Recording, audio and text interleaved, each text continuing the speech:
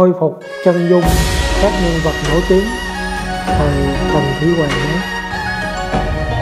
Hoa Dương Thái Hậu, thân mẫu của Tần Trang Vương Vương và là bà nội của Tần Thủy Hoàng đế.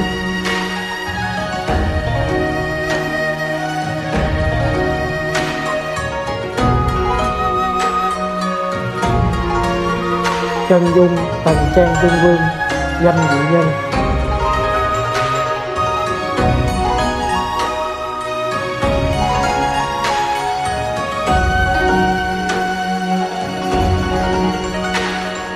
chân dung triệu cơ, vương hậu của danh vị nhân.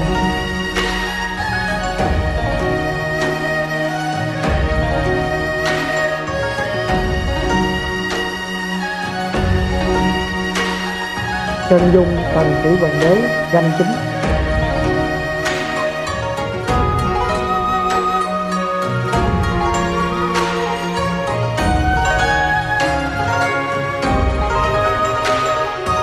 Chân dung A Phòng, khi Tần được sủng ái nhất của Tần Thủy Hoàng.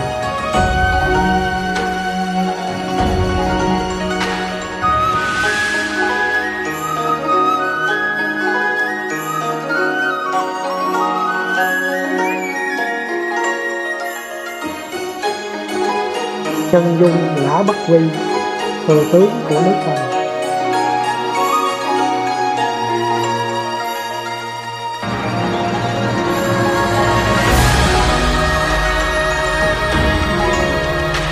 Chân dung mong ngao danh tướng nổi tiếng.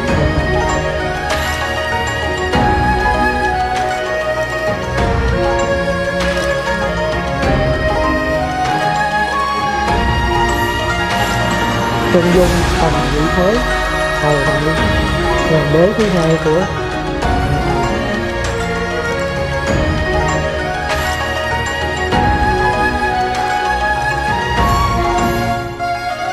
ung dung hoàng tử phù tôn con của tần thủy hoàng đế.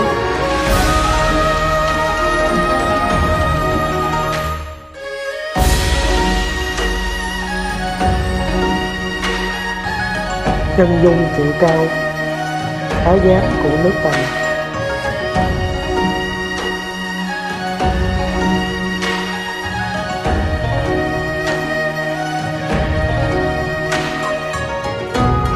Chân dung trường chính, hầu lao hán.